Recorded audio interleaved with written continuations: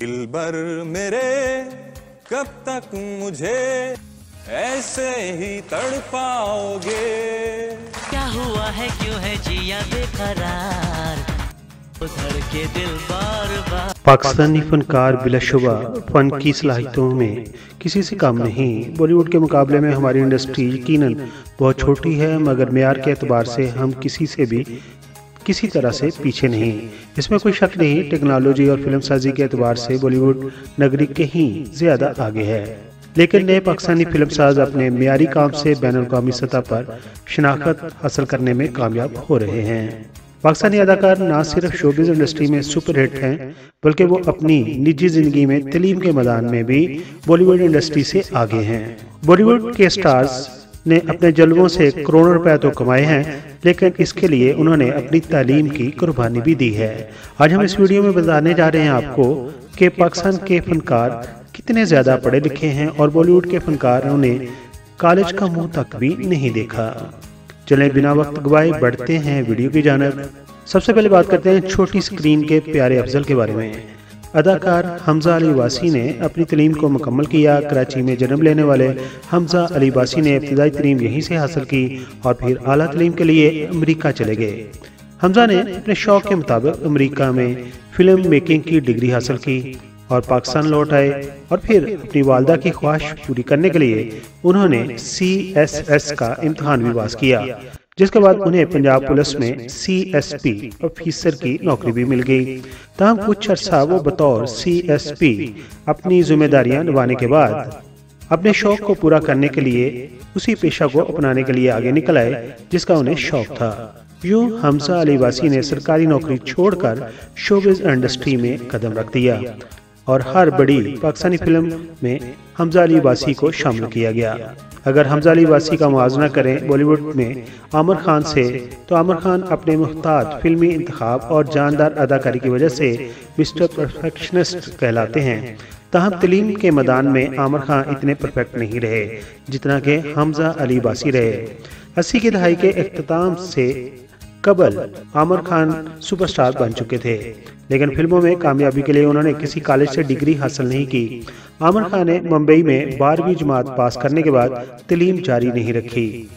वो कहते थे कि उन्हें फ़िल्में बनानी है, इसके लिए कॉलेज में दाखिला लेना वक्त ज़ाया करने के बराबर है। आज भी शायद आमिर खान अपनी साथी ज़िंदगी में तलीम की कमी महसूस करते हैं जिसे पूरा करने के लिए उन्होंने फ़िल्म तारे ज़मीन पर में एक उस्ताद का रोल निभाया और फ़िल्म थ्री इडियट्स में उन्होंने बेहतरीन तालब इलम का किरदार निभाया था। बात करते हैं पाकिस्तानी सीनियर अदाकार नोमान अजाज की। नुमान अजाज पाकिस्तान टेलीविज़न के मंजे हुए फनकार हैं जो खुद को सिल्वर स्क्रीन पर भी मनवा चुके हैं। नुमान एजाज 14 फरवरी 1965 को लाहौर में पैदा हुए थे। उनके वालिद एक सिनेमा में बतौर मैनेजर मुलाजमत किया करते थे।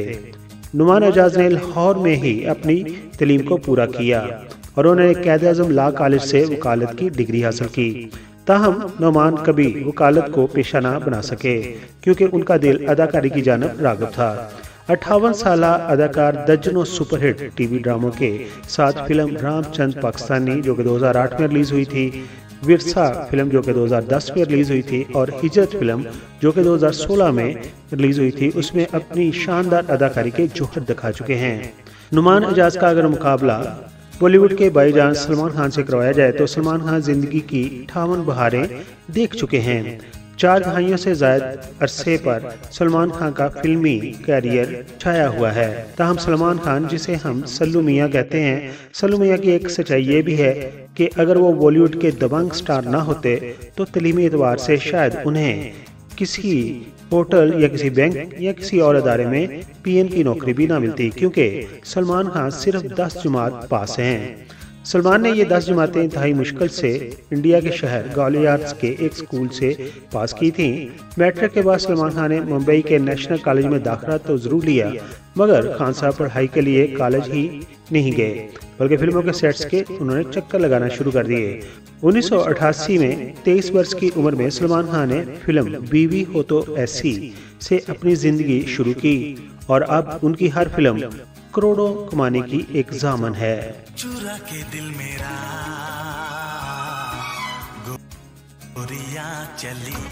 बात करते हैं पाकिस्तानी सुपरस्टार अरमगान शाहद की। जी हाँ जिन्हें दुनिया शान के नाम से जानती है। उन्होंने 500 से ज़्यादा फ़िल्मों में काम किया है। अदाकार शान ने बॉलीवुड के जवाल के दौर में फ़िल्मों में काम जारी रखा।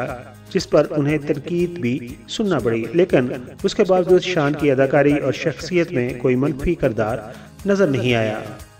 मौजूदा दौर में शान जदीद टेक्नोलॉजी की हमल पाकिस्तानी फ़िल्मों में शानदार अंदाज में मरकजी किरदार निभा रहे हैं। अदाकारी के साथ तलीमी मैदान में भी शान किसी से पीछे नहीं।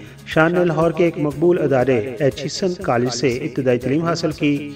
इसी दौरान शान ने मकबूल ड्रामे अल्फनून की एक किस्त में बॉय स्कॉट का किरदार भी निभाया था। एचिसन कॉलेज के बाद शान आला तलीम के लिए न्यूयॉर्क चले गए। उनकी ख्वाहिश वकील बनने की थी। ताहम अमरीका में तलीम मुकम्मल करने के बाद ताहम अमरीका में तलीम मुकम्मल करने के बाद जब अदाकार शान वतन वापस पहुँचे तो उन्होंने अपने वालद रियाज शाहद के प्रोडक्शन हाउस के लिए फ़िल्म साजी शुरू कर दी।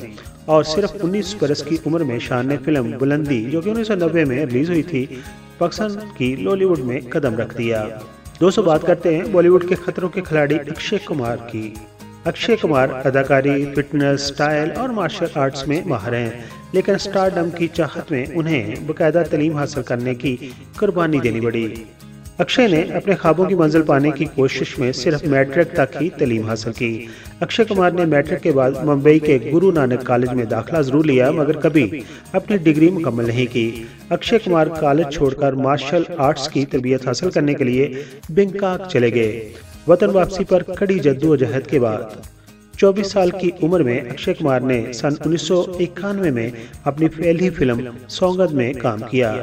हैरत अंगेज बात यह है कि कॉलेज ना जाने के बावजूद भी अक्षय कुमार डॉक्टर की डिग्री रखते हैं। हैरान ना हो, ये अक्षय की किस्मत है कि बिना कॉलेज और यूनिवर्सिटी गए हुए उन्हें डिग्री मिल गई। 2008 में कनाडा की जामिया यूनिवर्सिटी ऑफ़ विंडसर ने अक्षय कुमार की इंडियन सिनेमा के लिए खिदमत के इतराफ में उन्हें कानून की एजाजी डिग्री अदा कर दी। लेकिन अगर अक्षय कुमार का पाकिस्तान के कई डॉक्टर्स के साथ मुकाबला किया जाए तो पाकिस्तान में कई डॉक्टर्स शोबिस की दुनिया में नाम बना चुके हैं। मॉडल और अदाकार फहद मिर्ज़ा ने कराची के मकबूल मेडिकल कॉलेज से एमबीबीएस की डिग्री हासिल की और फिर प्लास्टिक सर्जन वो बने। और वो लोगों के चेहरे की प्लास्टिक सर्जरी करते हैं। मेडिकल शोबे में महारत हासिल करने के बाद फहद मिर्ज़ा ने 2007 से मॉडलिंग का आगाज़ किया। डॉक्टर फहद मिर्ज़ा अदाकारी में भी किस्मत आजमा चुके हैं और बतौर सर्जन भी काम कर रहे हैं। बैन अवी स्टार प्रियंका चोपड़ा को कौन नहीं जानता सतारह बरस की उम्र में वो मिस वर्ल्ड बन गई, जिसके बाद उन्होंने कभी भी किसी तलीमी अदारे का रुख नहीं किया।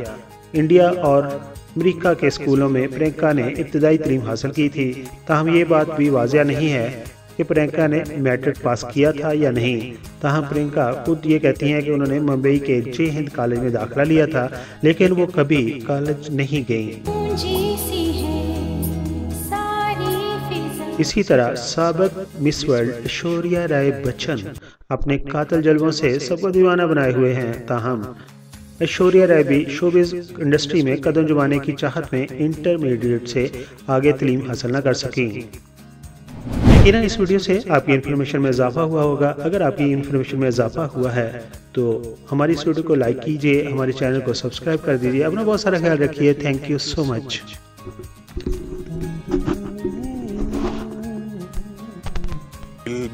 मेरे कब तक मुझे ऐसे ही तड़ पाओगे क्या हुआ है? क्यों है जिया बेकरार?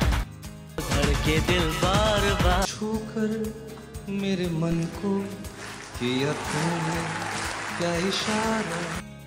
बदला ये मौसम लगे प्यारा जग सारा। है मेरे हम सफ़र। चुरा के दिल मेरा गोरिया चली।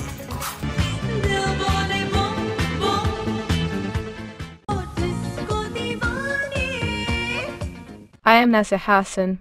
Please like the video and subscribe PK Mega Videos channel.